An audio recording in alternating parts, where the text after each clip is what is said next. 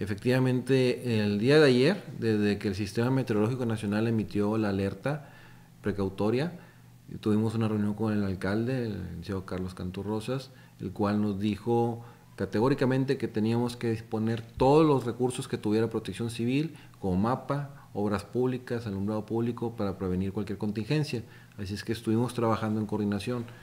Eh, afortunadamente la cantidad de agua que se esperaba en Nuevo Laredo no llegó, se desvió la tormenta y solamente tuvimos cerca de 3 pulgadas de lluvia.